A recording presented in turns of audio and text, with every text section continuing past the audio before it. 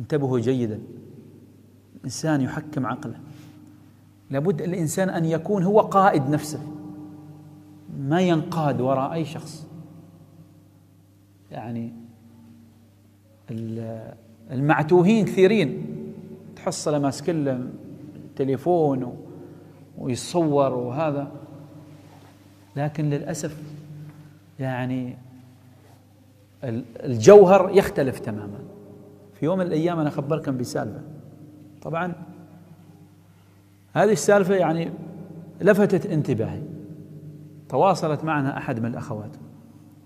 خضت استشارة أسرية معي أنا شخصيا. بعد فترة تقول لنا خضيت استشارة مع فلان الفلاني. من هذا الفلان الفلاني؟ فتخيلوا.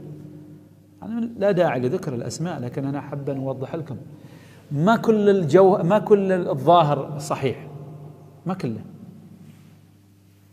الظاهر ليس صحيح. ستجد في الداخل هناك أشياء. ولذلك دائما أنا أقول كل إنسان إذا عندك موقف معين وتشوفه بعقلك اثبت عليه. لا تنجر وراء الناس. إيش سوى هذا؟ هذا يدعي انه مرشد مستشار أسري.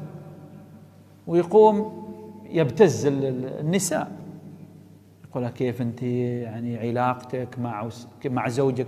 ويدخل نحن كمتخصصين في الاستشارات الأسرية عندنا خط أحمر لا نتجاوزه إلا في مسألة إذا كان عندك قضية قضية هجر هجران يعني وبالتالي أحيانا تريد تأخذ بس تأخذ كدراسة حالة لكن ما تتدخل في أمور خاصة في في الزوجة وزوجته.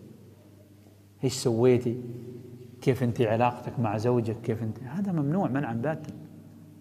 وبالتالي تجد ضعفاء النفوس. صدقوني المرة الثانية والمرة الثالثة نفس الاسم. هذا الاسم يتكرر على مستوى السلطنة. تمجده وتحط له حالاته في الواتساب وتحط له مقاطعه وتحط له صوره. إياكم وأن تنجروا وراء هذه الأفكار. يعني حد يقول لك إن إنسان هذا زين وإنت بمرة مباشرة. حد يجيك ويقول لك إن هذه الأسرة صالحة وبالتالي خلنا نحن نسوي مثل ما يسوي مثل ما يسوي الأبناء أبنائهم. لا هذا خطأ. خطأ كبير جدا.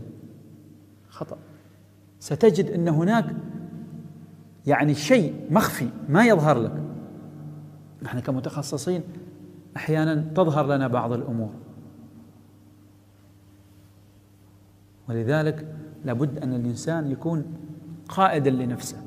ما ينجر وراء هؤلاء الناس؟ كثير اللي بيدعي لك بالمختص في فلان وبيقول لك أنا مختص في الاقتصاد وهذا بيقول لك أنا مختص في السياسة وهذا بيقول لك مختص أنا وطني وهذا. وقد هو يمكن داخليا صفر على الشمال.